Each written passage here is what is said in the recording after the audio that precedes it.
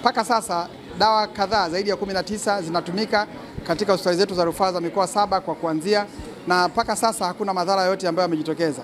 Kwa hiyo tunaendelea kutoa sifa nyingi kwa Mheshimiwa Rais, lakini pia itambulike kwamba Wizara ya Afya katika vipaumbele vyake kumi na nne vya msingi ambavyo inaenda kuvitekeleza katika mwaka huu wa kibajeti, uendelezaji wa tiba asili ni kipengele au tuseme ni kipaumbele kimojawapo. Kwa hiyo hakuna muda ambapo tiba asili zimepewa mazingira wezeshi aa, kama kipindi hiki.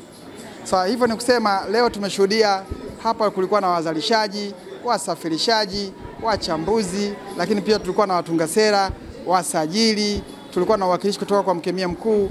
Hii yote ni kuhakikisha tiba asili inaendelea, lakini inaendelea katika misingi ambayo ni salama na ni misingi ambayo ni endelevu. Nichukue fursa hii pia kusema kwamba kuna uratibu wa jinsi ya kuhakikisha kwamba dawa yako inasajiliwa, lakini pia kuna uratibu wa kuhakikisha kwamba dawa yako uh, inapitia taratibu ili iweze kutangazwa. Kwa hiyo nitoe wito na nitoe onyo kwa wale wote ambao ni vishoka, ambao sio waganga asilia, ambao sio waganga ambao wamethibitishwa, waache kutumia mitandao, waache kutumia vyombo vyetu vya habari uh, kutangaza dawa ambazo hazijathibitishwa na, na hazijasajiliwa. Tuna taratibu zote, serikali imechukua hatua madhubuti ya kuhakikisha kwamba inapunguza gharama za usajili wa tiba asili, lakini pia inapunguza gharama za kuchunguza dawa hizi kwa mkemia mkuu. Kwa kwa sasa hakuna sababu ya mtu kuweza kutoa dawa yake na kuitangaza haijathibitishwa, haijasajiliwa, haijachunguzwa. Kwa hiyo nitoe wito kwamba serikali imejinasibisha kwamba ina support kwa kiasi kikubwa sana tiba asili. Wizara imekiweka kama kipaumbele, uwekezaji unaendelea. Aa, kuna kiwanda chetu cha Nimri Mabibo ambacho kinachambua dawa kitaalamu na kuziweka katika mazingira halisi na pia baadaye kuzifunga katika vifungashio. Niseme nimefarijika sana pia kuona uh, waonyeshaji wengi hapa wameweza kuwa na dawa ambazo unaona sasa zimekuwa na taarifa. Kwa ziko katika vifungashio vizuri, lakini pia dawa zina taarifa, dawa gani imetokana na mmea gani, una faida zipi kwa mwili, una madhara gani. Hivi ndivyo ambavyo dawa zetu zitaweza kujengewa imani, kutumika kwa wingi, lakini pia zitaweza kwenda nje ya masoko ya Tanzania. Kwa hiyo tunaendelea kumpongeza rais wetu Mheshimiwa Dr. Rais uh, Samia Suluhu Hassan, lakini pia niseme kwa namna pekee naendelea sana kumpongeza Mheshimiwa Umi Mwalimu ambaye kiukweli ameweka kipaumbele, ameweka uwekezaji na anatupa shime kila siku wizarani kuhakikisha kwamba tunatoa elimu yetu, tunatoa miongozo, tunaboresha sera za matibabu ya tiba asili. Lengo ni kumlinda mwananchi afaidike na urithi wa Mwafrika, lakini pia afaidike katika mazingira salama yaliyoboreshwa yenye ufanisi. Hizi taasisi zikishirikiana kufanya utafiti, lakini kuangalia usalama, ubora na ufanisi wa hizi bidhaa za afya. Nyinyi mnaita dawa, sisi tunaita bidhaa za afya zinazotokana na tiba asili, tutafika mbali sana. Tutawaondoa hofu wananchi wetu ambao wanatumia dawa zetu.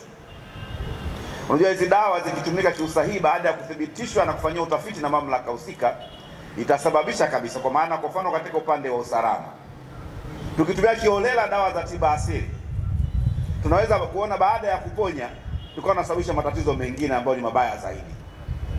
Badala ya kumsaidia mgonjwa wako kutibu shida fulani, unasababisha matatizo mengine kama ya figo, matatizo ya ini na kadhalika.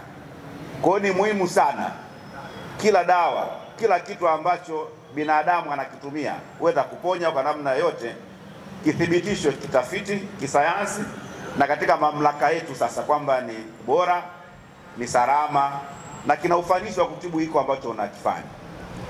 Kwa hiyo Mheshimiwa mgeni rasmi, ombi letu sisi kama watendaji wasaidizi wako ngazi ya mikoa na halmashauri, inapotokea fursa ya tafiti kupitia taasisi zetu za tafiti, lakini hata sisi wenyewe kama wizara, kama halmashauri basi tutoe kipaumbele kwenye tafiti za masuala mbalimbali ya afua mbalimbali kwenye eneo la tiba asili. Tunahusika na uchunguzi wa bidhaa mbalimbali ambako dawa asili ni moja ya zile bidhaa ambazo zinachunguza, lakini pia tunachunguza kuhusiana na vyakula mbalimbali ambavyo vimesindikwa na vyakula ambavyo havijasindikwa.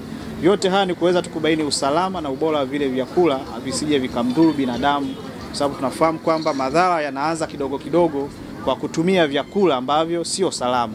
Mwisho wa siku unadhurika kwa kula chakula ambacho hukikitarajia. Kama unavyofahamu kwamba magonjwa ya saratani yako mengi sana, lakini vyanzo vyake vinakuwa wakati mwingine havijulikani, lakini inatokana na vyakula, wakati mwingine na vyakula mbalimbali ambavyo ulikuwa unakula visivyo salama, vinaweza ikakusababisha madhara ambayo unaweza kuyapata baada ya kutumia kitu hicho kwa muda mrefu zaidi. Wito wangu kwa wadau wote ni kufanya kazi kwa pamoja ili kuweza kusogeza mbele tasnia hii ya tiba asili, lakini pia nitoe wito kwa waganga wa tiba asili uh, muiamini NIMR. NIMR ni taasisi ya taifa iliyopewa dhamana kufanya utafiti. Tutawafikia ili tuweze kupata sampuli kwa ajili ya kufanya tafiti.